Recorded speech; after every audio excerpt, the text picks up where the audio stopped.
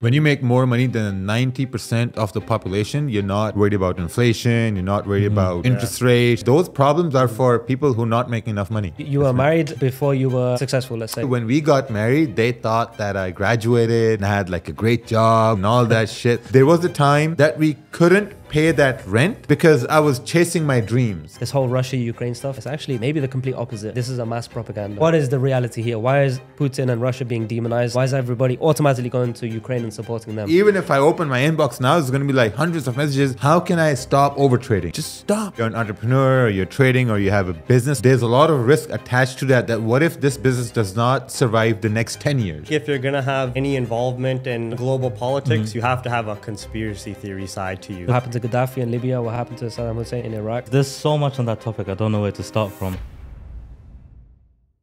Okay, ladies and gentlemen, welcome back to another episode. Today we are joined by our good friend Raja. He's basically a resident of the show again, back for another episode, and a good friend of ours, Jevan, as well.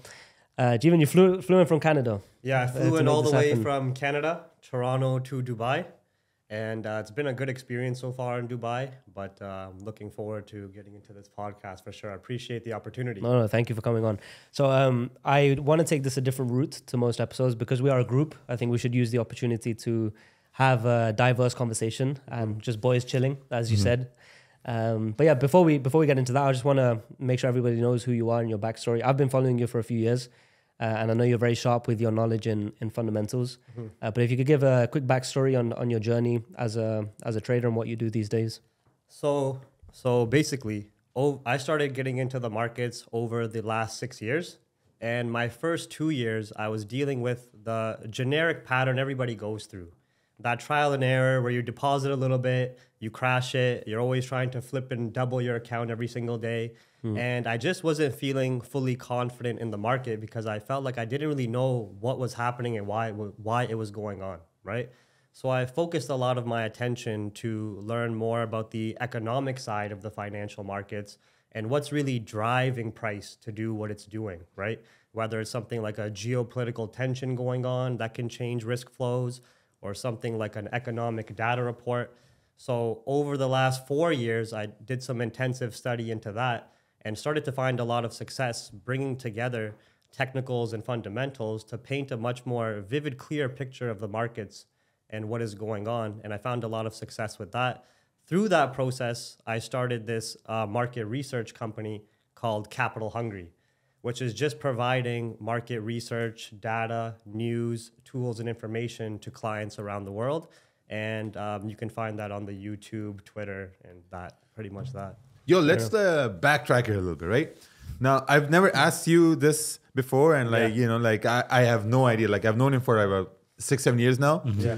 How did you find out about Forex? Like, why not stocks or, you know, options or. Well, initially, I was more introduced to the stock market, as you said, because through college and business, they have these courses just teaching you about macroeconomic, stock market, and stuff like that. Yeah. But I wasn't really too interested in the individual companies and researching stocks. I was more interested on a global perspective of what's going on.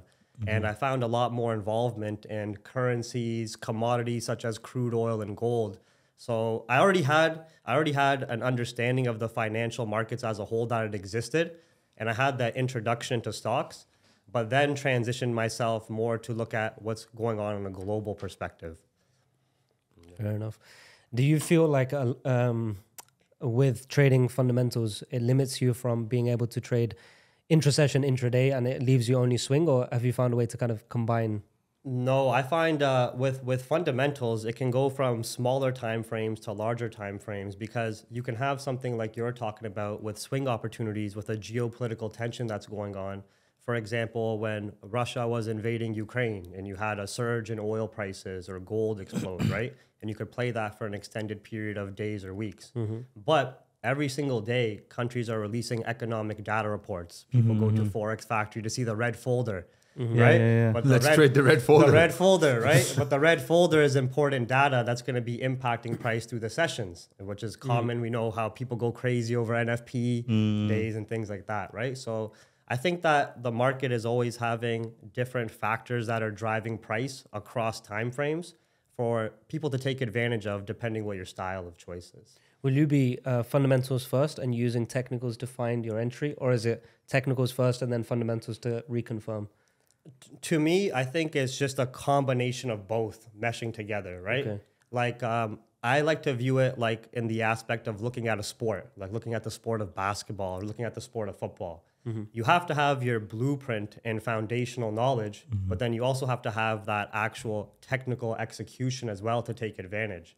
A lot of people, when they're looking from the outside in of watching a sport, they're like, oh, this guy is just kicking a ball, or this guy is just throwing the basketball into the hoop but they don't understand all the intricacies that go into it of them and their angles that they're looking for, mm-hmm. the speed that they're trying to take advantage of. So I find that just both bringing it together, it just works hand in hand. I've seen with um, fundamentals a lot of the time people use it for the directional bias. Mm-hmm. So they'll be like, okay, now euro's bullish for the ne- for the next I don't know three to six months, depending on how big the news is, and now you're using your technicals just to find entries along your directional bias. Yeah, it's it's hundred percent exactly what you said. So mm-hmm. it, it- the fundamental for sure gives you way more clarity of directional bias, mm-hmm. and then diving into the charts, going from your intraday analysis to the lower time frames. Just using, I re, I use very basic technical concepts like people say support and resistance, supply and demand, trends, market structure. It's all the same to me, right? But yeah, hundred percent bringing it What about you, like Raja? that. Do you do you use fundamentals at all, or you're you're primarily uh, technical?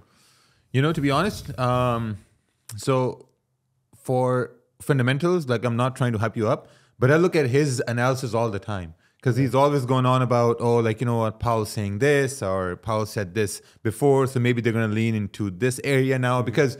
Um, if you've noticed the last, let's say like four or five months, mm-hmm. we've seen interest rates on, on the US, they've just started to increase them over and over and over again, right? And, the, and in the beginning, I didn't quite understand because every time they would increase the rates, you would expect gold to go down, but mm-hmm. gold would go bullish, Mm-hmm. right? Because what happens is in the press conference, like half an hour after the rates are released, they talk about, oh, you know, we've raised the rates, but but we're trying to beat inflation, which is still there. Mm-hmm. So whenever they talked about inflation, I was like, okay, like you know, maybe this means gold's gonna go up, you know. So now I just look at it in a way that okay, like what are they basically talking about? Because I think that that's very important. Because in, in the mm-hmm. beginning, I never really focused on fundamentals, but when I start to see these huge moves happen, because initially, whenever there's a news event, you trade the news, you get like 15, 20 pips, and, and then you're like, okay, I'm done, right? Mm-hmm. But how am I able to write the whole move? You know, that comes from really understanding what are they're trying to say in the press conference and what do they mean with the words they'll kind of like say, like, you know what, um, the inflation is still there, or we're trying to ease uh, our monetary policy, stuff like that. So there's a lot more that goes into that. I've actually noticed that about your trading now that you actually you take profits are a lot later now. Yeah. Over the last four or five months. Yeah, because what happened was, um, like if you remember, like if, if you guys uh, remember when Trump came in the office, right? Uh, USD went bullish, right? And gold kept on going bearish. So we're like, okay, like you know, maybe that's a long-term fundamental effect. Then we had COVID. Hmm. COVID happened. With every uh, breaking news that oh, there's a rise in cases, gold would go up. Hmm. Whenever there'd be a tweet or news about oh, now we have a new vaccine, hmm. gold would go down. And I started to clue this in that okay, so whenever there's a macro fundamental event happening, gold's gonna have a huge move. Mm-hmm. You know, and the most money I made was on Russia and Ukraine thing. Mm-hmm. I had a buy on gold accidentally, and Russia just invaded Ukraine, and in in two hours, bro, gold went up 320 points. Yeah. Oh, that's a lot. Yeah. 320 points, and I was like, "What the fuck is going on over here?" you know. So, so I think really understanding how fundamentals are working, you can get those big gains, and mm. that helped me out a lot. Especially with gold though, because it's a safe haven, right? So whenever Yeah. there's mm. panic, gold you can goes take up. Whenever advantage of the change in risk flows. And to mm. add on to what Raj is saying, a lot of people um, also like uh, he's talking about how much is involved to the fundamental side. A lot of people don't realize that with the financial markets overall, like all these institutions and the real market mm-hmm, makers, mm-hmm. they're always trying to have an edge and they're always trying to be ahead of the curve. So the pricing in concept is a big deal as well, right? Mm-hmm, That's where you get that Wall Street rumor, uh, Wall Street saying buy the rumor, sell the news. Mm. I was- I was gonna so the markets this, are always yeah. trying to move ahead of the curve. And for example, we saw that uh, with Russia and Ukraine, he said, when it first initially happened, you saw this surge in gold price, you saw this surge in oil price.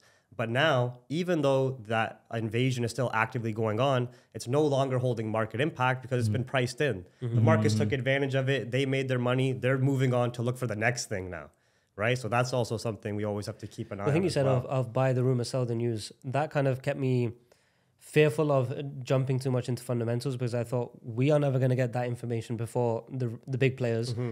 So we're always the last people to find out the news anyway. And then when I focused on my technicals, 99% of the times I won't even check Forex Factory and Yeah. I'll enter a trade and then 30 minutes later, it is really volatile. I'm like, oh, what happened? Yeah. I check Forex Factory, oh, there was a news release. the but the, the technical there. showed me first, and then Yeah. the news happened to be the catalyst. Yeah. And that's just reconfirmed to me at least that um, the it's already priced in, or Yeah. the market's going to do whatever it's going to do, and the news is kind of that that catalyst that, Yeah. that makes the same thing going to happen It's like, faster. it's like the rocket fuel, you can call it. Yeah. Oh, so you're almost, not right? even looking at mm, like you know what No. news to the, there to the point where I won't even check, and then I'll be pleasantly surprised or, or very quickly taken out of my trade, and then I look and uh, okay, this is a news release. Hmm. Um, but a lot of the times, the reason I say this is because when I'm back testing, um, I'm not able to recognize when there's news. Yeah. Like when a new, when you look back six months ago and you're looking at price action, you don't really know where the news is. Yeah, that's Because true. price is just price, and then certain periods are more volatile than others, most likely because of the news.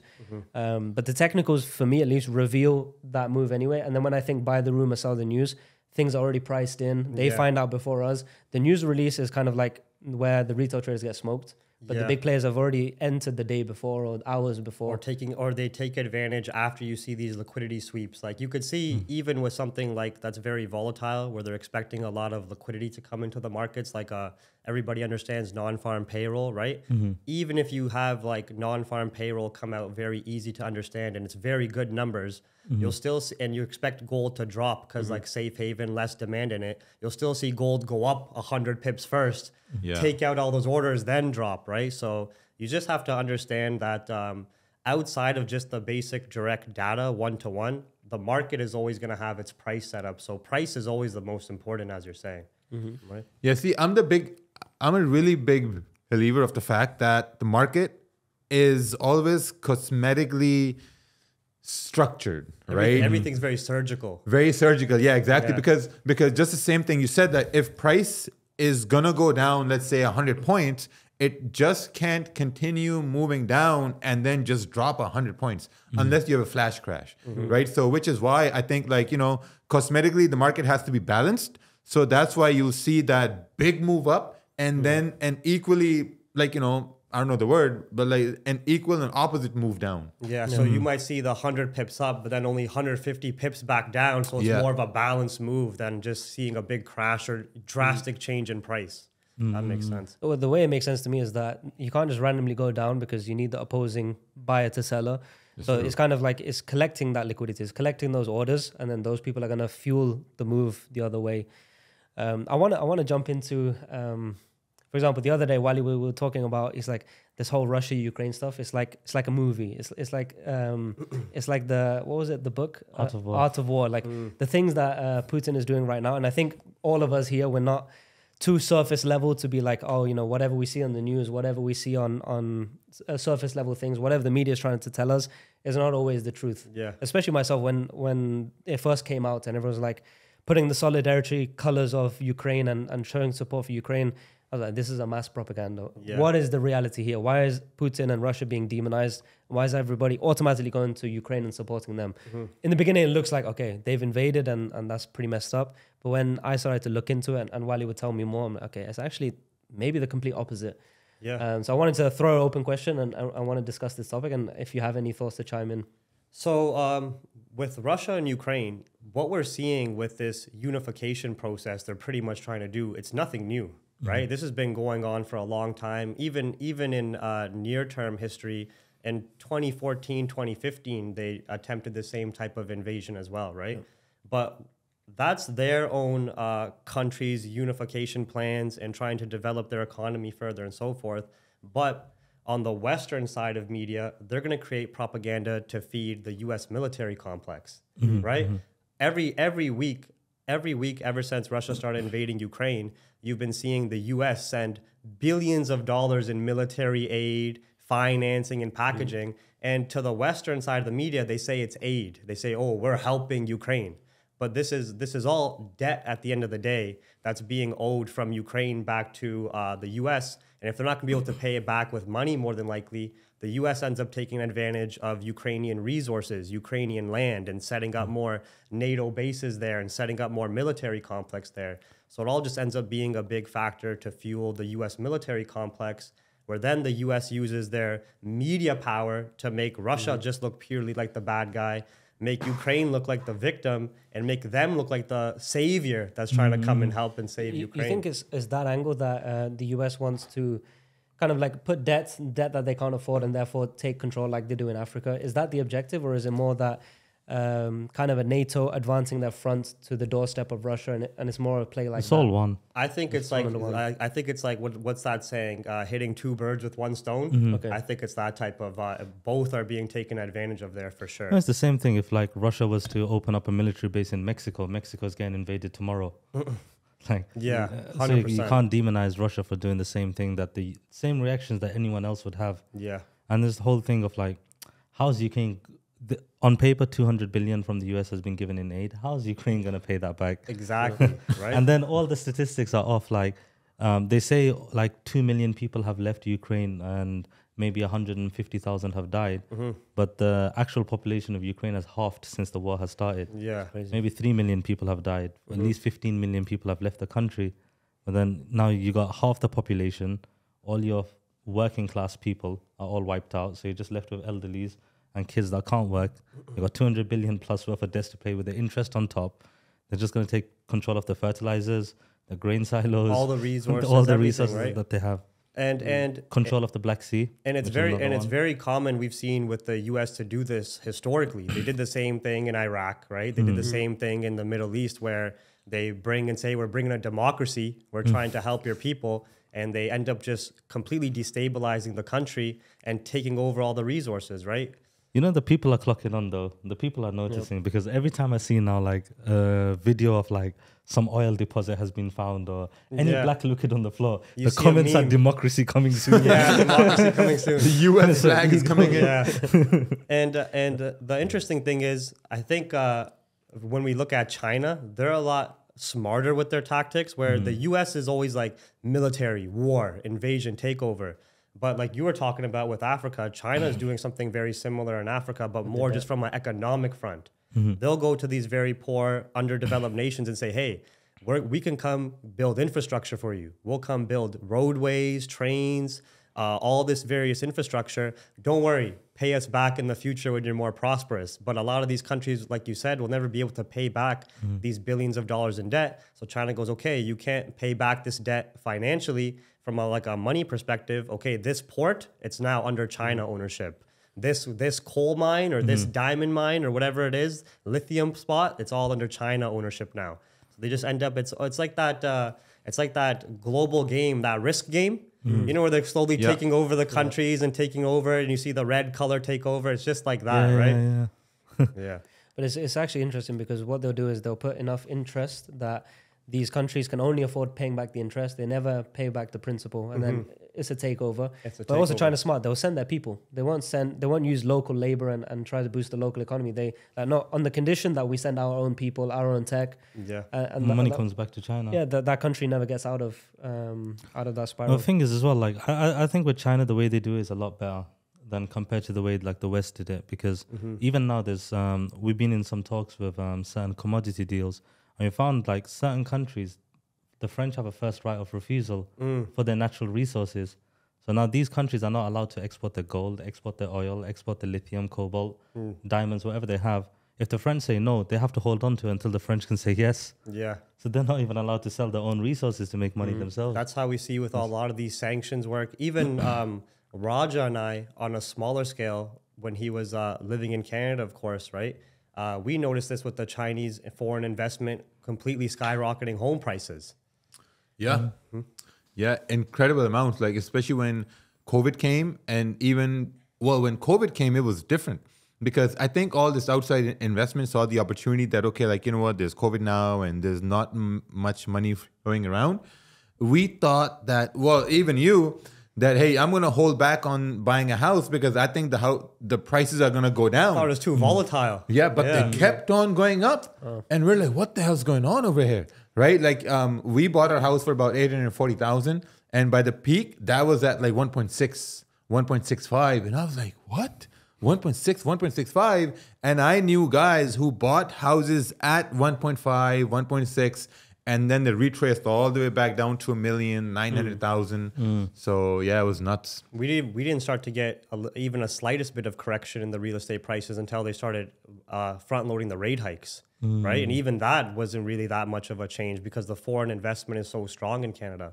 Most most Canadian citizens themselves, uh, the the average working Canadian cannot can never own a home in Canada at the prices right now. Never, Never. especially with the interest rates much higher now. House prices are still high in the millions of dollars, like Raja's saying. And um, and it's funny. I was reading an article. Uh, there's a there's a city just outside of Toronto, right, called Markham, where a house, even with these high interest rates, went 500k over asking price because a Chinese foreign investor liked the address. It was a Chinese lucky number. So that just Yeah, yeah, shows yeah. you. That Four just shows six or four eight. yeah, so that just shows you the amount of the amount of resources and wealth they have that they can completely take over. And and they're while the average Canadian citizen is struggling and can't afford a house, this guy's coming in paying half a million more for a lucky number, hmm. Oh my right? So it's crazy like that. Yeah, it's like buying a number plate here in Dubai. Yeah. that was really crazy when he was telling you me about, it? that. it's Yeah, that was It's insane. Oh, it's like I think part of the reason for that at least is because there's so many rental cars here, and the guy that has the car and wants to, you know, not look like it's a rental, Mm. they got to show something that okay, this is not a rental. Let me put a four digit or a three digit, or if you're crazy, two digit. Two Uh, but yeah, these plates are um, um, sometimes more than the car. We were at that um, Hookabaz the other week, and we're like looking at the lineups, like one digit, two digit, two digit, two digit. There's like three million dollars just of And, car and, plates. and the plates cost more than the car itself for some of Yeah, them. yeah, at least for a lot of them. ca- There's yeah. one that got auctioned last year in Eid for like 35 million dirhams. Yeah. I, That's I, I- I million heard a story where one of them just bought it for his son. Okay, he was like a who was like five, six years old, just for when he's ready to drive, he'll have a two single or double digit number plate. Yeah. Also, the thing is, I bought a plate yesterday from a G class, and I was asking the guy like, you know, these prices and all this, and he told me, brother, listen, if you're buying a number plate, it's not even about having a plate; it's about the plate has money on it, because the plate is never gonna appreciate. It's almost like an investment the way they made yeah, it here. Yeah, exactly. Because like he's like, listen, you got A to Z, and A has a limited numbers, B has limited numbers, all the way to Z, Mm-hmm. right? If you got a like a three-digit plate or a four-digit plate, your money is on that plate. You're Mm-hmm. never losing money on that plate. So he's like, that's why you're gonna see like you know some Teslas with a plate that costs like you know two hundred thousand or like you know. 250k only because there's money on that plate. If people have like you know black money or whatever they want to do with it, all they're gonna do is buy the plate, slap it on the car, and whenever they need money, they're like, okay, here's the plate for sale. Yeah. That's it. You know, it works very well as a as an asset class now because, for Yes. example, let, let's say watches. The watches, eh, Rolex every year is going to make a million more, a million more, a million more. So unless there's new buyers in the market every year, that, that price is going to settle at some point, and it does. There's fluctuations in the market, but with this, is there's only a limited amount of supply of the plates. They're not going to create a new system. So there's fixed amount of plates, but everyone's coming to Dubai, and every G Yes. wants every G now wants uh, an expensive plate. So it's only going to go up. It's Yeah, only going go up with the economy. There's one I saw. It, it was G6363. That was for about fifty thousand dollars, right? And the mm-hmm. guy said, "Brother, there's only one plate that's G6363." Yeah. Right? There's not any more they're gonna He come can out. control G that for price. the G wagon you're talking yeah. you're looking for, right? Yeah, That's good. Yeah, exactly. Mm-hmm. But let me ask you this, right? Mm. Now, once you start to get profitable, mm. right?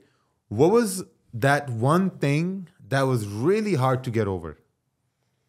I think for me, and it's a very common thing, is just over trading. Mm-hmm. It's just oh. over trading, right? Even even if you have all this fundamental knowledge, even if you have your technical so sharp, when that when that demon comes on top of your shoulder after you even take a winning trade to say go get more, or you just took a losing trade and it says no, you can get it back next trade. That's what really hurts people, right? So Just stop. Actually, yeah, it's- It's an addiction. it's an addiction, right? If you're addicted to a drug, just stop. Just stop. You're homeless, just buy a house. Buy a house. yeah, like guys ask me all the time, bro, Raja, like I can't or even if I open my inbox now, it's gonna be like hundreds of messages. How can I stop over trading? Just stop. Seriously. But Bro, just I to, can't never thought of that. You're just, right. just to, just to further like add that on to that, because he's looking at a very direct A to B. To further add on to that, everybody has the option where if they take a losing trade or a winning trade, they can sign out of their, they can sign out of the platform temporarily, Yeah. right? And it, when you act, and I found a good little tip was um, actually having to physically sign back on to your account. It- having that little bit of time in between where you have a process of like signing back on, opening up your charts again, it creates this it creates this interruption from you just Slight thinking of more- yeah, it creates an interruption to the emotional impulse, right? Will you do that thing of um, some people have like three strikes in a day? If I've taken three losses, I'm done, or a certain amount of losses in a week and I'm done, or you'll do. If I've taken a couple of losses, I feel mentally off. I'll log out. Or, or what is your Yeah. over trading protocol? When I was first getting into it, I was more focused on scalping and I would have that three strike rule. But um, as I transitioned into more day trading, there's less execution in day trading, more waiting, right? So I might look for an entry on GBP, JPY if it's trending or gold during Asian or early London. And I'm only looking for one real execution point or trade. And, and I know, understanding from a day trading perspective, the range I'm looking to take advantage of, it may take multiple sessions for it to play out. So now you're more just managing and watching that singular trade rather than um, rather than scalping, where you where scalps always scalps are available. No matter when someone goes to the chart, you can convince yourself for a scalp trade, right? yeah, you start inventing uh, Yeah. confluences. Yeah. I'm confused now because you're more of a fundamental, so therefore you're taking lo- taking long term positions Mm-hmm. based on whatever. Then how do you end up scalping? No, I meant just when I first started trading in my Ah, okay, journey, I was it. more scalping focused, right? And then, um, and then I transitioned into dra- day trading, which, which exactly as you said was more coming from that fundamental influence. And mm. what you were discussing, where you get the directional bias from a fundamental catalyst. So if I if I knew that this interest rate, like the Federal Reserve, is just front loading interest rates and it's mm-hmm. going to keep U.S. dollar more bullish.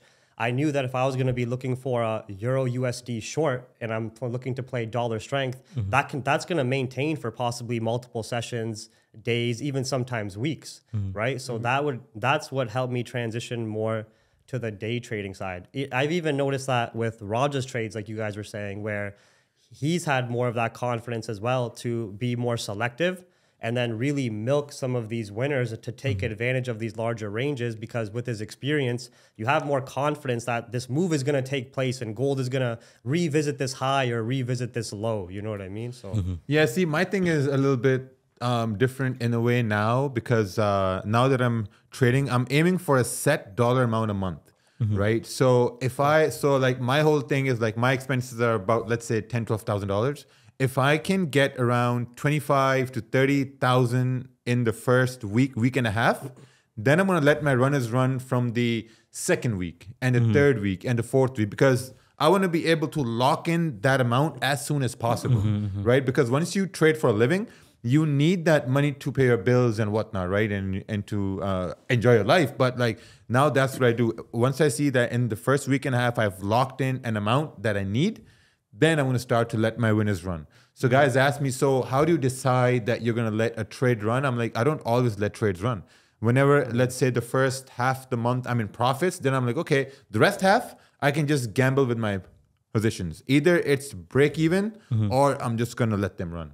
Let- Let's hmm. say so that sounds like a, you're having a good month. The month started very well, and then the let, the second two weeks you can kind of take the foot off the gas.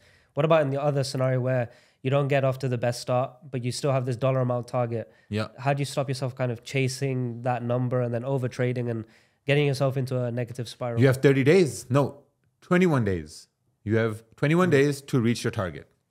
That's and, it. and I think the and I think that's a that's a great reminder where a lot of people if they're if they might be losing in the first little bit of the month they're very short sighted and they're only thinking about tomorrow mm-hmm. right they're only thinking about okay I have to recover this or make this back I need to do this the next session or tomorrow mm-hmm. but having that more long term approach of like okay I may have taken these two losses in this first week but but there's still three more weeks left. Let's continue at the same controlled pace. And that's I think that's a big factor to your discipline as well as having that more longer term approach, right? Not being as short sighted, Yeah. right? Yeah, because uh, there was pound interest rates last week, Thursday, right? I had a buy stop, and they increased the rates more than expected. Remember? Yeah, They they increased the rates more than expected. I had a buy stop. My buy stop got slipped 70 pips. Oh, I lost seven grand right there. On what pair?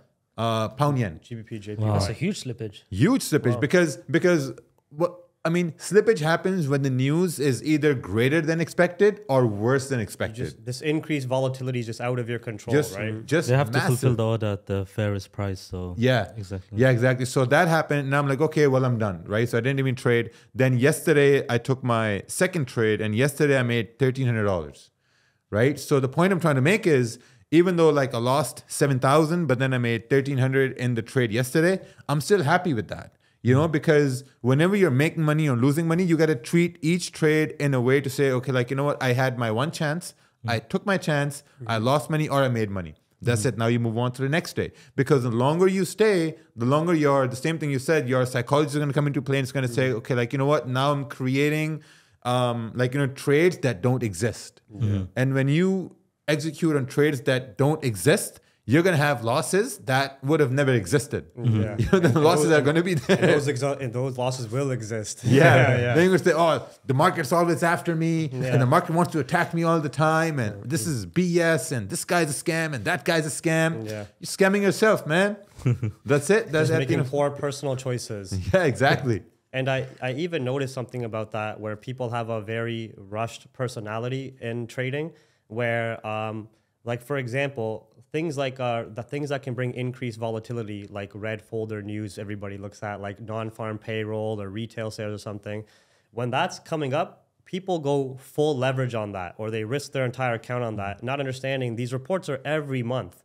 Every month there's an NFP, every month there's a retail sales, your PMI data.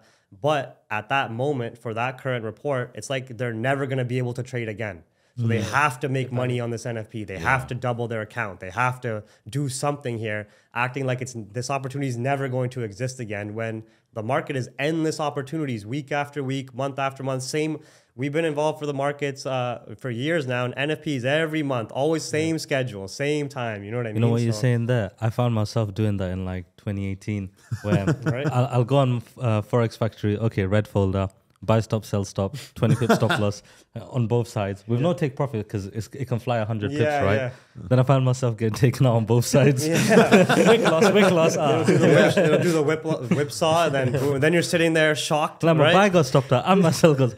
How do you buy and sell and lose? Yeah, or yeah, or the spread's gonna activate your sell stop, then go the opposite way. You're like, what? yeah, yeah. Yeah. You know, um, in your situation, because you're more fundamentally driven, let's say you're looking at gold being bullish for the next foreseeable, will you still sell along the way or you'll only buy with that directional bias? No, because I'm more on a day trading perspective and I'm um, not looking to hold trades really for weeks or months. Uh-huh. There's plenty of times while gold can be trending bullish where you can have bearish moves that can last sessions or days, right? Mm-hmm. So let's just say, for example, when we were watching gold trending more bullish during COVID with the mm-hmm. massive stimulus that was going on in low rates, or you were watching it trending bullish during that period of months with Russia and Ukraine, as gold is trending bullish more on the macro and higher time frame, you can still have your day-to-day data reports that could be optimistic data leading to like a 100 pip bearish move where from a fundamental perspective if you understand that you can still take advantage and grab your piece. I'm never trying to really counter trend, trend uh, trade and like trying to call a top or a bottom but you can take advantage of a piece of a pullback and then still continue and set up and wait for the continuation of So trend that pullback your trade will be purely technical. it, it, most of the time, actually, it'll be a combination of technical and fundamental. So, like the okay. so like the example with like Russia and Ukraine, gold gold more demand because safe haven, change in risk flows, military uh, issues going on. Macro, it's more bullish for a period of months. But let's just say that same week on the Friday, you have your NFP coming out for the mm-hmm. U.S. and and the U.S. payroll numbers have nothing to do with Russia and Ukraine, mm-hmm, mm-hmm. right? U.S. payroll numbers still may be very amazing, and in a short-term perspective, that's still going to lead to some gold downside and almost almost like sets up prices for to continue the trend, right? Mm-hmm. So on that intraday perspective, you can still take advantage of that data move as you're setting up prices to continue with the trend. Fair enough. I want to pivot and I want to talk about two things. One, which I want you to touch on, Waly, is kind of the petrodollar situation, uh, because I know you know a lot about Libya, Iraq, and so forth, because that will bring us nicely onto gold uh, and, and kind of the moves that are happening with with BRICS and, and so forth. No, man, I'm a, I'm a rabbit hole guy, and before we said that, you said you're a rabbit hole guy as well. I'm for sure. And A bit, I I'm for sure. A bit, I think if you're gonna have any involvement in uh, researching global politics, Mm-hmm. you have to have a conspiracy theory side to you. The thing is, like, th- this has that this side of me has nothing to do with trading. It's just like, okay, I y- it's most like seeking the truth of what's actually happening. Mm-hmm. Like, because there's a few channels I follow. Like, the top one I think is Redacted. Mm-hmm. Um, it's literally the redacted news, the news that they left out. Yeah. And then they were, I've been watching them for two years. One of our good friends um, put us onto it. And it's like everything that you've been told for such a long time, everything that you believed in is just all fake. And then you see the evidence for it. And you see people like, the thing is, the, the population, I think, like, they're so subdued at this point now where, like, people in the Senate will come out and say straightforward, this is happening. This Right now, this week, they're debating um, how 85,000 children on the southern border of the US have been sex trafficked, Mm. and people don't believe that there's a corporate ring that's controlling all of that. But that's being debated in the Senate. They're bringing evidence that government people are involved Mm. in this. Even um, going this- into that sex trafficking thing, you guys know all about the Jeffrey Epstein, Mm-hmm. right? All about that. But they're too busy talking about the submarine this week, Right. Instead of behind Yeah. the behind the scenes right now, there was recently a headline where J.P. Morgan, the bank as a whole, had to pay 250 million dollar fine for involvement with Jeffrey Epstein in the island, Mm-hmm. and that's all just hidden behind all this other stuff that's going on with this uh, submarine Yeah. that went missing. Or You, you'll notice every single time there's something that people are too focused on, there's something being hidden. exactly. Like the, this whole week, Biden, two impeachment things have been put against Biden this week as well.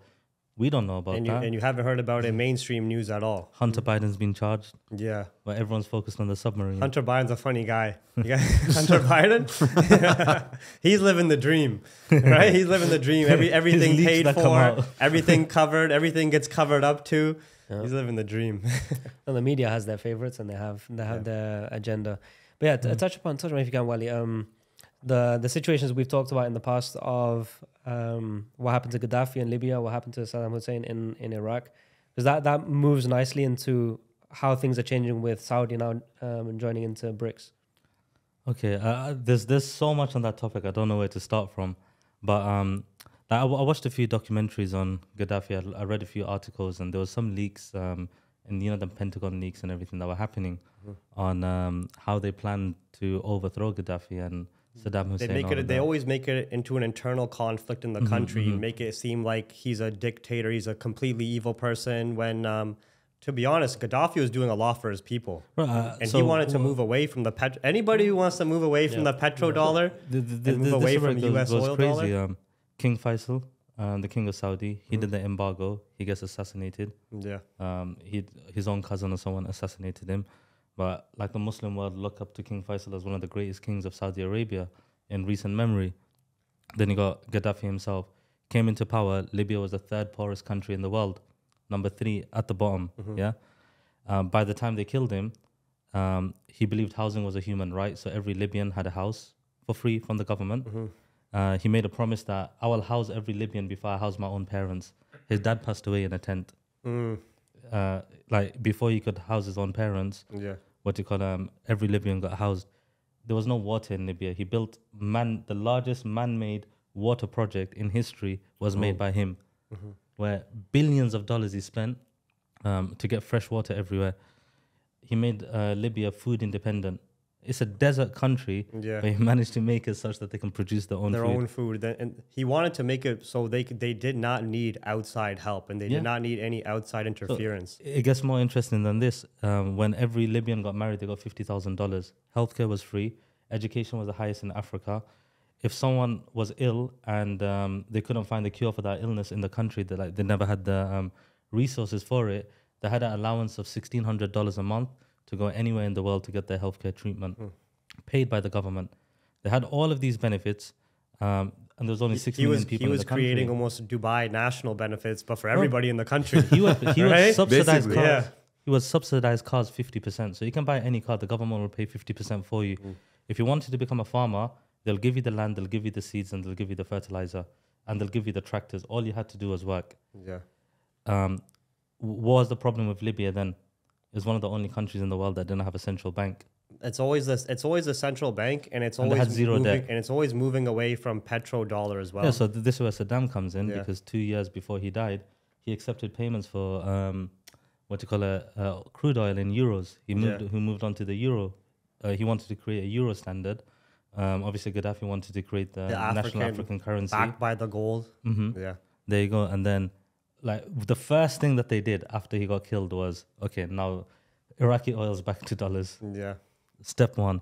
So th- and that's where it goes because I, I and they put in that puppet government they say it's a democracy for the people's benefit Mm-hmm. now and it's all completely uh, manipulated in western media Yeah, and it's it's all one massive ring because um, up until the gold standard, when they come off it, like the demand for the dollar was going down, and then they had to artificially inflate the demand for the dollar by making everyone buy it. So now I don't know why does a I don't know African country need to convert their local currency into dollars to buy oil from Saudi Arabia, like Yeah. artificial inflation of demand. And then that's what allows them to keep the Fed printing money, printing money. And they're saying like and the they still US hold is, that uh, and they still hold that world reserve currency status Yeah. right so most most global debt obligations are still denominated Mm. in us dollars commodity sales everything right And, but that's dropping rapidly as well because um, 16% of global reserves are not in, as in, it was like 63% up until last year. This year is 47%. So there's 16% difference. People are moving away actively from the dollar. Mm-hmm. And it's, people are waking up in it because they say, what's the greatest export of the US? It's inflation. it's Yeah. inflation yeah Yeah, yeah, they export the inflation to or everyone debt else. right yeah, that's yeah. True. And but the thing is, as much as um, as much as people want to move away from the U.S. dollar, the U.S.'s greatest power is their military, right? Mm-hmm. And and the U.S. dollar isn't just a currency; it's now an empire, right? So it's going to be very difficult to move away from that standard without having major global catastrophe, in my opinion, on Mm. a military standpoint or economic standpoint. See, I think um, it's inevit- in- inevitable at this point now because before it was one person standing up. Oh, Saddam, let's do this. Gaddafi, oh, let's do this. This guy, let's do this. One person at a time. But this time, the whole world are kind of everyone outside the West is united Yeah. um, against. Uh, well, united for stepping away from the dollar standard. Like, you're getting almost more of this uh, global division in half where you're having what you're talking about more the BRICS side right like uh, you're russia um, india and china but at the end of the day the us still has their allies with nato right well, this is where it gets thingy because France applied for BRICS officially. yeah How crazy i is heard that? that too Yeah, but like here's the thing: like the U.S. dollar is so I would say like like you know like it has their c- claws dug deep in the global economy so deep, mm-hmm. it's not going to be really easy to get rid No, of that. I think it's, going to take 10, 20 at years. least 10, 20 yeah, years. that's at that, that's, least that 10, timeline years. makes more sense. Every every empire eventually falls, but like what Raja's saying is like there's so much in global infrastructure from an economic standpoint that's rooted back to the U.S. dollar, global debt, and so forth, where um, it's going to be hard to transition out of that without having a reset first. But Yeah. that, that's what I think. There's a lot of powers in the world right now that are pushing for that reset, and they, they say what what they say is the perfect mix of problems, right? Because The perfect storm. the perfect storm. Because Yeah. now, okay, China and Russia together are very very powerful, and they said um, reports of a two-fronted war, a war against China and war against Russia at the same time. But there's one Ukraine has depleted all of their military resources Yeah. maybe not their men, but they've lost a lot of tanks. They've lost a lot of weapons. They lost a lot of, um, I don't know, wha- whatever um, military equipment they use. It's given um, the other side's allies a chance to actually see U.S. military weapons on the battlefield for the first time. They're, they're seeing, um, they're getting hold of actual U.S. IP and they're reverse engineering them, making them themselves for cheaper. And uh, even and even like some of these countries, like you're talking about, like China, they're going above and beyond with their innovations. Like uh, China recently came out with their hypersonic missiles, which like the Yeah. U.S. doesn't even have yet, right? Even Iran, Yeah. ICBMs. But the only thing with uh, the only the only contention I see with the whole China Russia alliance is it may be a short term alliance to uh, take over and dethrone the US, and you have that reset and you have this change in global infrastructure. But at the end of the day, China and Russia are still in competition as well. Uh, All of these countries, as much as you see in media of their divisions, US is still doing tons of business with China. China's biggest customer is the US, right? At the end of the day, like so Chi- like it's more than just the US dollar. The size of the US economy and how much they contribute to the business of other countries is still massive, right? So, and at the end of the day, when we're looking at this relationship between Russia and China, they can have this team up thing, but China's mentality, I don't know if you've heard of their 2050 plan or whatever. China still wants to be the world dominating powerhouse, right? They don't want to be, oh, China and Russia at the top. They want China, at, the, top, Yeah, right? yeah. So it's going to be a crazy, crazy times over the next 10, 20 years. Where, Uh, have you seen the stuff with um, the bonds that China China's holding and what leverage they have? Because of the way the interest rates are going, and China has like between the account that they have in the Netherlands and Hong Kong and their own personal bond holdings, they have enough bonds to basically destroy the dollar today if they wanted to. By dump, so they take a loss of a trillion dollars, Yeah. which they can uh, at this point they can absorb that loss, but that is enough dumping in the market to actually destroy the. In, in, in a normal situation, no. But with the way the interest rates Chi- are, China for sure has the power to uh, to do that type of damage, but mm. like I said, it goes back to almost like almost like they're losing such a it's like a it's they're losing such a strong long-term customer. It's like if you have a mm-hmm. drug dealer, you might have this customer that's very annoying, but he keeps coming back and You don't want him to you OD. you don't want him to overdose. You don't want him to die. you don't want Roger want to, to- tell him to stop, right? You don't want him to quit, right? You want him to keep coming Yeah. back and providing you business, right? So th- it's that twisted relationship I almost see with China and the US, right? Ah, I f- I feel like even if the if all of this stuff happens, the US has no choice but to still buy from that customer's not gone. Yeah. That customer will never be gone. Like mm-hmm. i they'll they'll still be there buying whatever they need from whoever they need, but the terms of the business deals will be different now. The power will be in someone else's hands. The power The being deal will always hands. take place, but it'll be on someone else's terms. But uh, that would be a long-term recovery because if you were to dethrone the U.S. dollar and destabilize the U.S. economy, you'd be driving that country into a depression, right? Pretty yes, much, right? and So- I've I, I don't know from everything that I've seen, I'm a strong believer. Like a lot of people are coming together, and that's their intention. They want to drive the Mm. U.S. into a depression. Yeah. Like the the thing is like everyone's kind of fed up. Like But- why is wh- my currency pegged here, and why is this here, and why do I have to do business like this, and why? It's, it's also that let's say a country like Pakistan who wants to borrow money uh, from the IMF, they have to sell their soul. They have to, you know, unfavorable Which, which we're seeing interest rates and, and whatever. now, but right? if the US wants that same amount of money, or any any country, they have to submit uh, debt. yeah, The US can just print it, but then any other country that would print more of their currency, um, they get they get then a penalized for it. Yeah. you know you, you For devalue your currency. is- currency. For Pakistan is so bad because uh, you'd probably know this. Um, for the first ever time, the what do you call um, nat, um LNG export. Um, the they- they- natural they gas, put- yeah. yeah, they they put they put a bid out for it, and no one bidded on it because they have no no faith in um, Pakistan. They're gonna run right out of natural gas by November. if Yeah. no one um, feeds into it. Yeah. So talking about running out, um, f- some people may not know this. You guys probably may not know this. He had a corporate job at one point, right? And and I remember we used to like you know talk in the groups and stuff like that. He's like, yeah, I'm at my job, this and that. And you transitioned from your corporate job to like leaving that job, and then you jumped straight into trading, mm-hmm. right? So jumping in trading full time, leaving that job, how was that a process? Like, did you think, okay, well now my consistent income is gonna stop, and now I'm in this world of oh, like how am I gonna make money? Yeah, it, uh, there was that fear, but to sort of uh, take away pressure from that fear, I, I took your advice actually, if you remember, was to first like have enough money and save a nest egg where you can cover at least a year's worth of your expenses and bills, right? So for me, with with my family and my upbringing, everybody was just more like go to school, get a nice stable job, get married, and pay your bills, pay your mortgage, and live your life, right?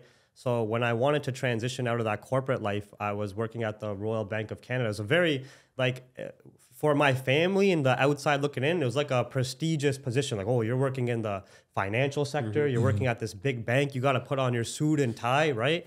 And and they're like, why would you ever want to leave that? right? So a lot of How much doubt- were you making, if you don't mind me asking? I was uh, I started out at 60k Okay. and I maxed out around 90k. That's Oh, a pretty good good job. yeah, at that know, time, right? Within a four to five year period, right? Yeah. yeah. So on paper, and to your friends and family, they're like, "Oh, Jevan's working at a bank. He's making, he's putting on a suit and tie. He's done. That's Yeah. the peak, right? He set almost six figures. yeah, Oh, wow, that's man. the peak, right? So, so there was a lot of, uh, there was a lot of doubt coming in from friends and family saying, "Why would you ever want to leave this and try to do your own thing?" But um, it was good because I had people in my network and friendship circle like Raja who are already taking these risks, mm-hmm. and I was seeing it work out for him firsthand. Mm-hmm. Right, I was mm-hmm. seeing him take this risk, try this business, and it would work out. Right, I remember back in the day, I would make fun of him for it, but he he made he probably made more money than I did at the bank when he was selling his uh, Market Fluidity DVDs, and he was signing them, and, and people about want, that period. yeah, right, I sold DVDs in a world where laptops did not come with CD-ROMs. Yeah, yeah. And Mixtapes. and, and, mixtape. and what shocked me was like um, on initial first look, you'd think and have all this doubt, like, bro, people don't have DVD players anymore. Who's buying this, right? But he'd be selling out, right? So I'd be like, wow, the there's so much opportunity in this world where the only limiting factor is people's own fears and doubts. Yes. Mhm. Right. But back to your original question, what helped me transition was first saving a nest egg of uh, capital where I would at least have a year of bills and expenses covered. And then it took off way, way more pressure off me. Because I feel like a lot of people, when they get into full time trading, they create this pressure to perform. They know, like, oh, I have to pay these bills, I have to make this certain amount of money. And when you have this like almost guaranteed thing, you don't have this, you don't have these investments. I'm not talking like Raja's perspective where he has like a monthly target. Mm-hmm. I'm talking about people have no money in the bank, no investments, no other stream of income, and all the pressure is on trading to make to pay their bills at the month. It's almost asking to fail because you're putting on all this extra pressure to perform, right? So that really helped me transition from the corporate world more into the business side and trading side mm-hmm. Was creating that nest egg and then also just ignoring a lot of the doubters and naysayers that like even the, it was my own it was my own mom and dad saying are you crazy what are you doing like are you really Yeah, gonna yeah. leave this right yeah So- Especially with the position you were in, though. Like you had a stable, very well paying and respectable job as well. And in our culture, respect is a very big thing, right? Mm-hmm. Right. Uh, you earning 150k as a street sweeper. Who you? Um, no, no, He's just no, saying as an no, example. no, no. He's saying as as an a- example. That's a lot of money for us. What? No, no, they, they, they, they What are don't. you that- that's- sweeping that's every what I'm saying. They don't care about the money though. Yeah. He's can just saying ten from a, times he's more. just saying from an image true. perspective, Yeah. you Yeah. could you could run some you could be a hot dog stand owner making 400k, but people be like, oh, he's a hot dog stand. Yeah. I- I'm, I'm like, respect, give me yeah. that hot dog stand. If that's making me 400k, I'm taking that hot dog. right? But my mom and dad will be like, no chance. No chance. right? No, Cause, yeah. 'cause they're because but because especially in all cult, our, our culture, they're all worried about politics and what mm-hmm. other people think of you. That's true. Yeah, Everybody, auntie everybody gonna- keeps trying to make decisions about what other people are going to think about what you're doing. It's also more than that for you because not only you you were leaving the status and a, and a high position and the respect your family name had, all Yeah. of that. It's also that you had to make at least 90k Yeah. to break even on the opportunity. Yeah. So if you were making only 90k a year, it was not worth your time. You could have just stayed in your job. Mm-hmm. Yeah. So you have to make a lot more than so your, your benchmark is so high. Where other people are like, let me just recover my bills, let me just make two, three k a month. You're like, no, I have to make what I was making previously and then some to be to be a Yeah, justified Yeah, opportunity. to make it more beneficial. I think one thing also I noticed was that that with you, I think there wasn't much of a need or like a pressure to impress. Yeah, you know, like even though you're making 90k, I never really seen you or seen him like with like you know like a nice fancy car or like these Yeah, new yeah. brand new things, spanking mm-hmm. things.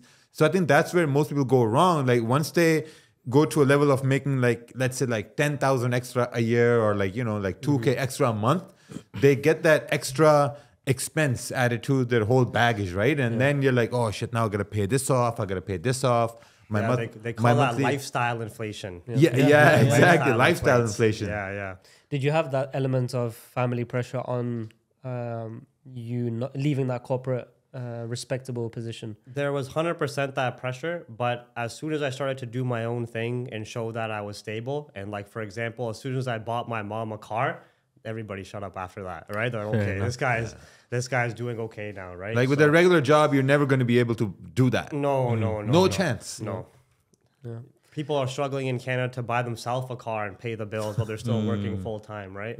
So, but yeah, one thing that helped me was um, even when I transitioned and then I started making ten thousand a month or twenty thousand a month, um, my lifestyle pretty much remained the same. Uh, like I'm pretty simple, where I just like to go to the gym, right? I just like to chill out at home and stuff like that. I'm not really like we would have fun times rarely together where we go out and splurge, but Yeah. it's like a unique event, and Yeah. because it was rare, it made it much more enjoyable. It made it a much better memory compared to these people who you see after work. They're depressed, they go to the bar. Every weekend, they're drinking because they want to forget about their bills. They want to forget about this. Uh, they want to forget about all the all the stress they have in their life. So they always are looking for an escape. Where for me, I was never looking for an escape. Whenever we did do something fun like that or splurge some money, it was very enjoyable and it was a very good memory. You know what I mean? So- Our life was the escape from the yeah, real world. yeah. right? Yeah, that's like, true. Like once you're 100% content with yourself, you don't want to escape your own reality. Yeah. Right. And this is something I talk to my wife about too. Like, cause she most times says, "Oh, like you, like you know, like you're in the office, like you're by yourself." I'm, I enjoy being with myself. I 100% enjoy that. You know, because at the end of the day, the only person who's going to be with you is going to be you. Mm-hmm. So if you're trying to go to the bar, like you know, to forget about the things, you're trying to escape your own self. And you mm-hmm. can't do that because once you do that, you're not really trying to see like you know what you're most capable of. Mm. You know, so You so I think end up that's a, you just end up in a vicious cycle of self destruction, mm-hmm. right? And then, like you said, mm-hmm. just if you quit drinking, just quit, right? just stop, right? Right, right. How long have you been married? How many years? ten years.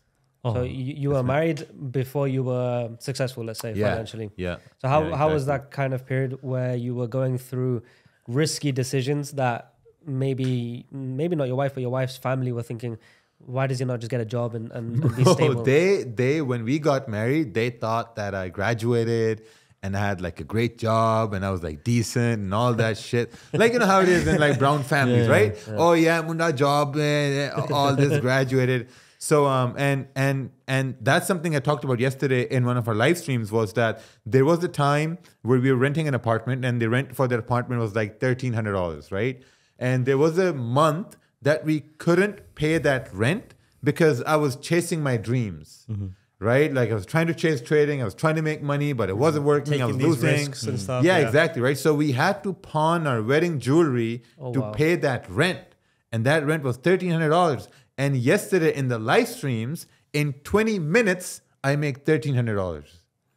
Right? It just shows you that Yeah. it just change. goes to show that it it didn't take me six months to get to that. It took me like six years to get to that point. And when I did that outcome yesterday, thirteen hundred, I told everyone this same story. I was like, like, wow, now now now like the dynamics of reality have totally shifted. Mm-hmm. Right? So so you will go through tough times, but it doesn't matter like how long that tough times are, like your time is gonna come. You know, some people think, oh, you know, I want to get there maybe like, you know, next week, next month, you know, in six months. No, give it time. Give it like six years, seven years, 10 years. Be excited where you're going to be in the next five years rather than where you want to be in the next five days because you see someone bawling out. Yeah, and, and, and with what he's adding on to, sorry to interrupt, with uh, balling out, a lot of people who are just seeing uh, Raja's Instagram now over the last couple of years, they, Yeah, they yeah. don't they don't realize like the first few years, the amount of content he was making and live streams every day and webinars he was creating. That's still 100% available on the on the Raja Banks YouTube. It's insane, right? So people don't see It people was don't. daily at one point, right? Yeah. Live Daily. streams every day. Yeah, grind it daily. People wow, people don't see all the work that goes into the end result. They just see the end result and they want to either compare to it or get envious of it or hate on it, but they don't see the years of sacrifice, the years of work and knowledge development, experience developed to get to there, right? That's, why I have like so much more respect because I was there observing that just from the sidelines through the entire process, right? Mm. It's No, that's crazy. that's something you mentioned in Hookabaz when you were sitting down as well. You're like, people are only seeing because you bought four cars in four weeks. Yeah, That's something that's crazy. mad. I don't want to know when you're gonna stop. no, stop now. yeah, yeah. And it's like people are only seeing that now, but what they don't see is for the six years before that, you're buying properties, you're getting your investment straight, you're setting your family up and everything. And now that you're enjoying yourself, people they got the illusion that it's just come now. It's true. And they don't see everything that went behind it and all the structure you put up behind it. more as well. likely you're going to get more followers these days because you're being the flashy guy whereas previously you were more value driven and probably not as many followers were catching on but these new guys that are coming to follow you and they're seeing okay Raja's got xyz and he's got these number of cars and so forth what advice would you give to them that are kind of newly tuning into you Yeah, you know what I'm trying to do now is I'm trying to not post a lot about it. I'm trying to now shift towards posting more about charts and value and knowledge. But it's hard not to post about that because it's just all there, Yeah. right? So I mean, and you also feel proud like you do Mm-hmm. like You you don't wanna be you hiding it. like you you did this right like anybody Mm-hmm. who starts a business like the path you're on your stuff you can say you did this Mm-hmm. right like you put in all that work all that sacrifice and people say oh it's showing off it's not showing off it's just showing the hard work and the and the end result of this hard work right so it's awesome like I drove a Honda Civic for the first five yeah, years. big coffee stain in the passenger seat. I always had to Yeah. go into selling. Bro, I was like, bro, you can at least get this stain clean, right? He's like, no, leave it, bro. It's just dried out now. It's not gonna do anything. yeah, trust me. White Honda Civic. You know, one, one thing I have in my head um, is I, I always like to think forward. I, I, I don't care for my current comfort. I don't care for my current luxury. Because let's say I'm enjoying a vacation and it's beyond my means. I'm not going to enjoy that moment because I'm, I'm going to be thinking, okay, this is going to hurt me in the future. Whereas people are, a lot of people are just in the moment. They won't think about the future. For me, it's the opposite. I'd rather suffer now and be comfortable in the future. And that uh, that's an extreme example, but I still have remnants of that. So for me, it'll be um, if I knew I was being a, staying as a dentist, I knew I would have not only a stable career and, and an X amount of income. I know that I'll have a guaranteed pension when I retire. Benefits and And everything. all of right? these, all of these perks that come with the job, uh, and that's complete security, peace of mind, and stability. So Mm-hmm. right now, let's say I'm earning more than a dentist. So today I'm I'm I'm good, but I can't help but think when I'm 65, I'm not gonna have that pension Yeah. that that I can fully switch off at 65 because I know I've got a monthly something coming in. So then that adds something on my plate of okay, it's, it's 40 years from now, but I, I'm still thinking, what am I going to do later on in life? So wh- what would you guys advise to to that kind of side of investing and and, and make sure you're sound for the future? I, I was getting, I was getting the advice from him where he keeps telling me property, property, property. At the end of the day, and, and not just property, but land as well. So things like uh, things like property and land. At the end of the day, or even if you're looking at incremental stock market investing, besides the crisis period, stock market is designed to go up long term, right? Or property, besides these periods where you have a correction, if you look at a long term, hundred year chart on property prices, it's only going up. Same thing with land and everything else, right? So I think the best thing we can do, um, especially in our position, is it's great that we don't have that short sightedness, but still put some money to the side that we can start investing into these various pools that will bring you more long term wealth. It's mm-hmm. a it's a slower pace, but it's a more dependable pace, similar to mm-hmm. like what you're saying and looking for in the aspect of a pension, right? At the end of the day, even with some of these uh, pensions that are being offered from a government perspective or from a company perspective, a lot of those still have risks that can come with it too, right? Mm-hmm. But at, uh, but owning owning and having ownership of these assets, that's something that's always going to be You know, under I- your belt. So I completely agree, and that's obviously the the normal answer. But I can't help but think that yes, the stock market has historically gone up, and it probably will continue to. Same for property. Yeah. But when and therefore you know you, you know your asset is is dependable and it's increased, it's appreciating. But when you I've seen charts of like uh, property prices and then uh, corrected for inflation. So of course the the price has gone up, but the value of the currency has gone down. Yeah. So then the that true value of the investment isn't the same. Or the stocks, yes, the value of the stock market has gone up, but the currency has gone down. So you know it's not always But that's but that's where it comes in handy because it's completely different when you're looking at the one percenters versus the 99%. The 99%, the majority of the free cash flow that they get from working a job goes into consumption. So inflation heavily damages them. But at the end of the day, inflation is a very sticky subject where obviously if you go into uh, high risk inflation, hyperinflation, it's going to destroy an economy. But inflation is actually beneficial for the rich because it inflates the price of all these assets that they own, right? So when we saw, for example, inflation heavily increase, when you're looking at the consumer side, everybody's cost of living went up. Gas prices went up, all this like uh, your general basket of goods of going to the grocery store. Mm-hmm. But for that super rich guy who has an investment portfolio or a commodities portfolio, real estate, all of that value went up as well. Mm-hmm. And at the end of the day, you're not really your wealth isn't really denominated by how much cash you essentially have on hand. It's about the value of these assets that you own, right? That's true, but what about like say the buying power of that? Mm-hmm. Um, if you didn't put it into property and you kept it in cash, you would have lost the value, Yeah, the buying you'd power be- because of inflation. Exactly. But if you put it into property, I feel like uh, at least from some of the graphs I've seen, uh, property kind of keeps you at the level of the same buying power. It's not a true investment; it's just keeping your money safe. Yeah, yeah, see, so- yeah, that's it's it, it- it's an investment in, in keeping your money safe, but it's also just about that you have these assets that are actually of your ownership under your belt Mm-hmm. versus cash, which is just going to continue to deplete, or anything like an expense which you're just paying to live, right? Mm-hmm. So Yeah, see, so here's how I think. Like, I get your point. What you're trying trying to say is that, like, normally when you have a job, right? You have a job, you know, you're gonna get a certain amount coming in every month, you know, and then you're gonna have retirement, and then you're gonna be good, right?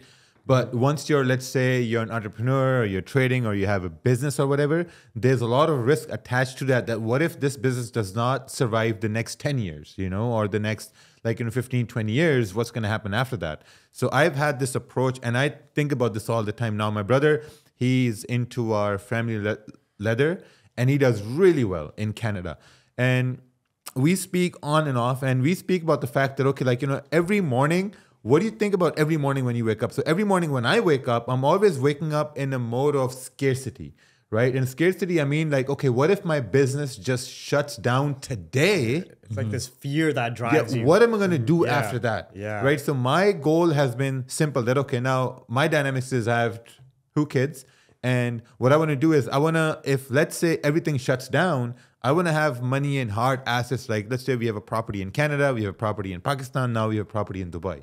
My whole goal is to make sure that these properties are paid off, mm-hmm. right? And have enough in the bank to make me go for full one year mm. you know and that comes with a point that okay that you know yourself that even though if your business shuts down you're going to have your expenses paid for one full year and you got to be smart enough to know that okay how are you going to pick yourself back up within that one year?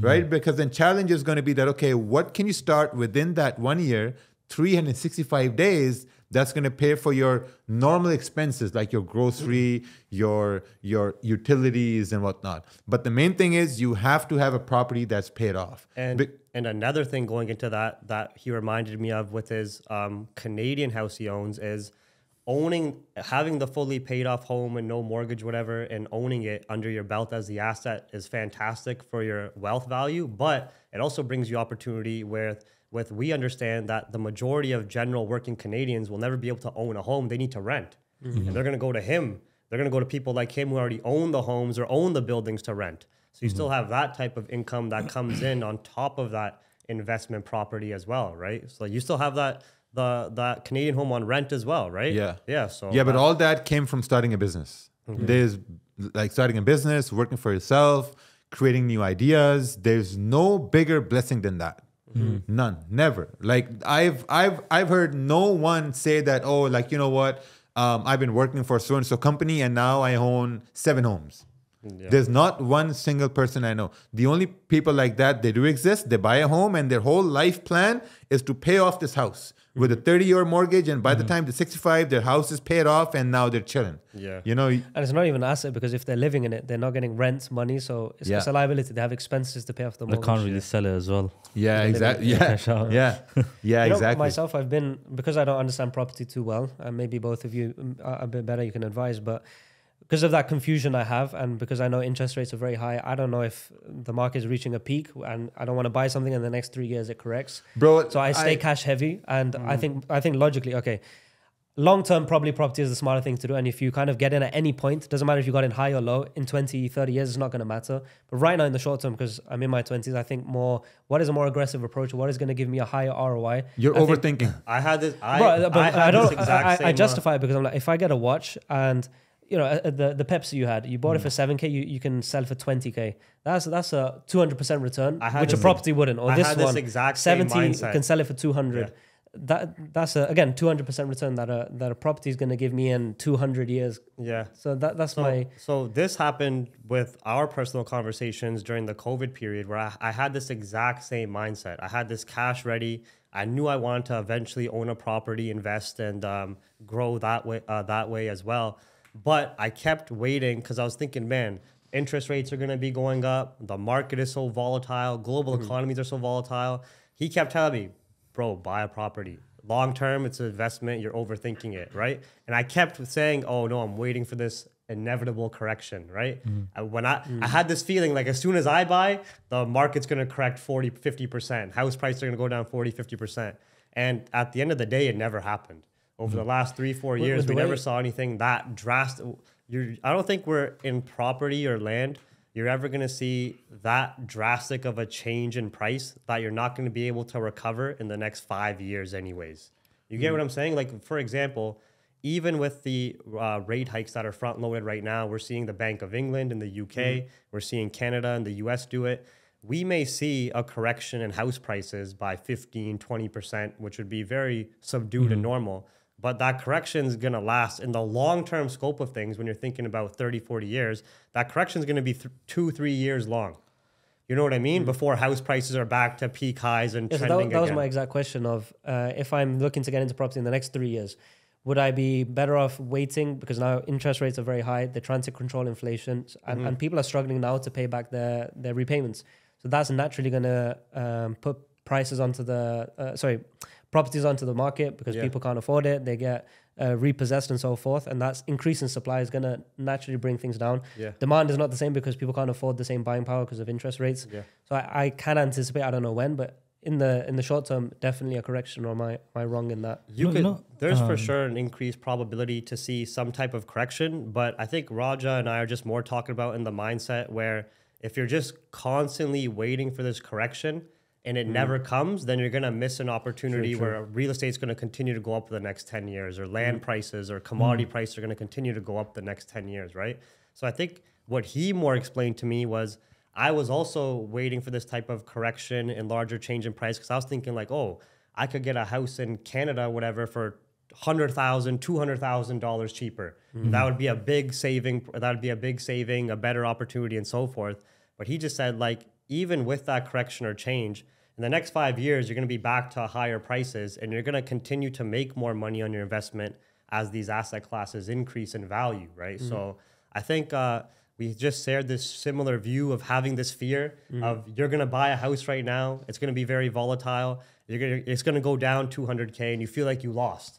But I- 'cause I you- I like in wouldn't the say, moment, I wouldn't say right? it's a fear necessarily. I'm, I'm more trying to think what is the most logical. Mm. And for example, he said we we've we- we're more into commodity at the moment because gold. Uh, we didn't touch on it fully, but Yeah. right now gold buys make so much sense. Long So, term, yeah, yeah. Uh, uh, with with what, uh, Russia and China doing accumulating stock, at least in Dubai, at least everybody is buying gold right now. Yeah. Uh, and it's flying, flying off the shelf. So we thought, okay, right now, at least short term, gold is making a little bit more sense than property. With property, there is at least a probability that's going to go down in the next Yeah. two, three years. Maybe a healthy correction that But is you not guys going to are matter. buying but- physical gold then? uh, yes, yes. Yeah. Yeah. Yeah, see, here's here's here's what we did, right? So we just bought a, a home right here. It was like 1.3, 1.4 million dollars. Um, as a non-resident, we had to pay 50% down, right? And everyone told me, oh, like you know, it's at high right now. You're paying a premium. The interest rates are high, and this and that. And my whole idea was this: I'm cash heavy right now. Where can I safely put cash that if I need it at any given moment, I'm going to get that same cash back? Because I don't look at property in a way of oh, it's- going to appreciate and this and that. I look at property in a way that okay, if shit hits the fan, I'm going to have property which it will never ever give me a loss. It will give you a break even, mm-hmm. and for people to say that okay, oh, it gave you break even, you made no money, you suck, man. Fuck them. Because here's the thing: I paid seven hundred thousand dollars down payment for the house, and now I know that if things go bad, I can get that seven hundred thousand dollars back. Mm-hmm. Mm-hmm. Right? And I think in Dubai, at least, you're protected from the rest of the world's problems because here it's Yeah. going to go up. And I'm confident in that. Ex- bro, there's no more land being made.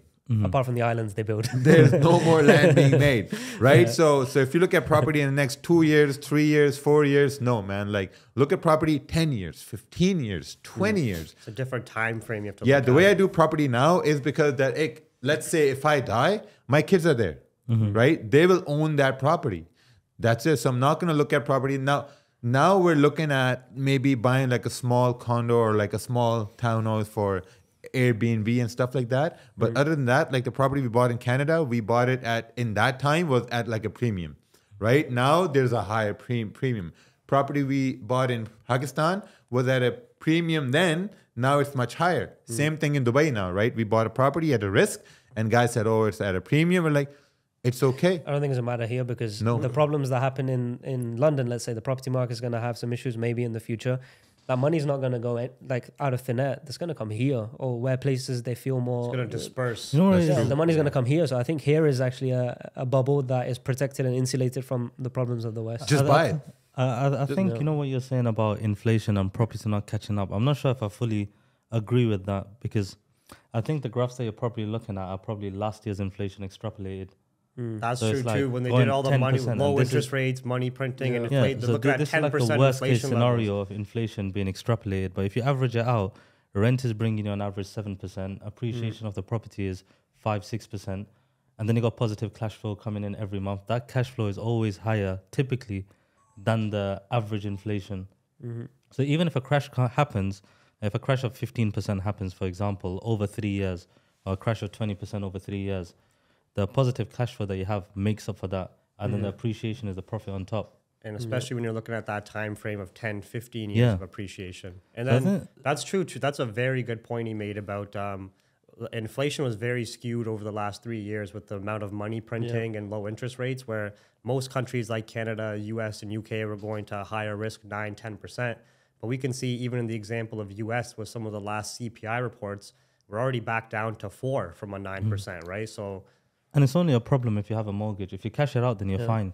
Mm. Because if everyone defaults on the mortgages and more properties come on the market, when people can't afford to buy their rent and rent prices go up, so you're protected on that side as well. When you make more money than 90% of the population, you're not worried about inflation, you're not worried mm-hmm. about interest rates, you're not true. you're not you're not really worried about that cuz like those problems are mm. for people who are not making enough money. and that goes mm. back to what we were saying where like the the 1% the people who are making more money than the 99% all any free cash flow they really get from their businesses they just go into ownership. Yeah, they're buying buy- homes. they buy homes they buy mm-hmm. they buy land they buy com- like they buy commodities and they just and buy more businesses because they just want more ownership because even if inflation does rise all those assets rise too right? Mm-hmm. And it just mm-hmm. increases their overall wealth value because that's how it's like denominated. So it's very interesting that wise. Fair enough. I think we're coming out to six, so we'll, I just want to leave as a last question for you, okay which is: Are we going to see you in Dubai anytime soon? Mm. You speak highly of it. It's a it's a great place to be. You're in the Royal Atlantis, but Honestly, coming from uh, Canada to Dubai, Canada's turning into a prison country, right? Let's. see, There's way too much social nonsense going on. Way too much radical ideology, Agenda. right? And uh, and with Dubai, the the amount of opportunities they bring people because they want business here. They want people who have an abundance mindset and people want to do more. Dubai's targeting them, right? Where all these other mm-hmm. Western countries are like the opposite. Mm-hmm. They're they're punishing people like that, right? They're mm-hmm, having forty percent tax rates for anybody who has their own business and is trying to do more. So for me, I for sure want to come back to Dubai, but not to visit. I more want to move here. there now. we go. I was going to say also for your trading hours, I bet they're a nightmare in in Canada. In Canada, it's not. In Canada, it's still good because um, I still get the prime New York session time, right? So for trading, it's still good like that, and it's good that Asian session is around the evening time for me to look for any day trade setups. I'll be sleep during London, but I know with Dubai times, you get to cover London is uh, 11 a.m. yeah, you get a lot more London- session coverage, right? You, Yeah, can get have a lion and still and still make London. yeah, right. There we go. Excellent stuff. And both of you, thank you for coming on again. And it was a nice chat. Thank you, man. Thank you for having me. Great podcast.